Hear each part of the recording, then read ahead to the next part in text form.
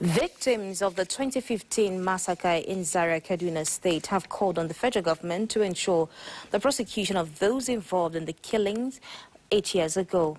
The victims made the call while narrating their experiences during the eight years anniversary organized by the Resource Forum of Islamic Movement in Abuja on Saturday.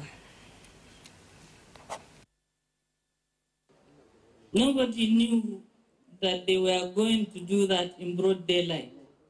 They were wearing the uniform of the state and they were attacking innocent civilians. Yeah, we all go there, pregnant women, uh, small children, you see crippled people and even blind people there.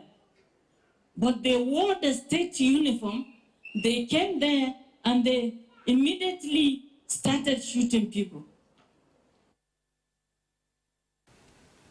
The Islamic movement appealed to the federal government to conclude investigation into the Zaria killings and ensure justice is served.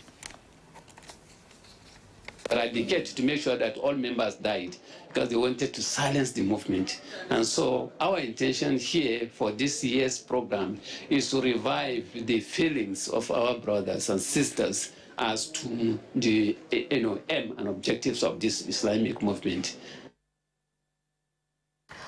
Well, since the 2015 incident, members of the Islamic movement, under the leadership of Sheikh Ibrahim Zakzaky, gathered every year in memory of those who were killed during the attack.